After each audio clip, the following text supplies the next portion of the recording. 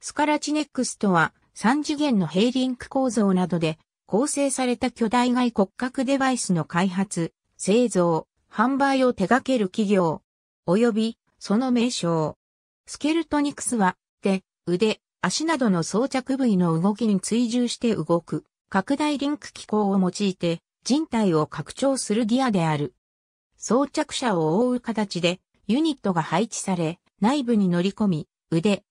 指先、背中、腰、足を接続することで外骨格の操作が可能となっている。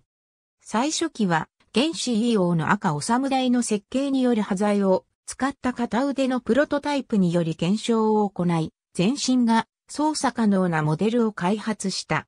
一見、スケルトニクス本体の操作は難しく見えるが、外骨格は3次元のヘイリンク構造により装着者の動きに連動するため操作性は高い。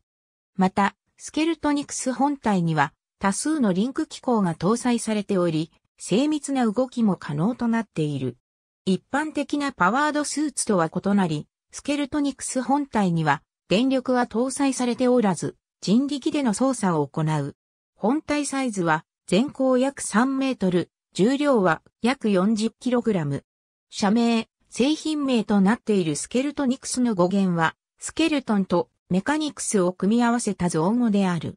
受賞歴として、グッドデザイン賞、文化庁、メディア芸術再審査委員会推薦、東大2、テキサスプロジェクト SWSX がある。ありがとうございます。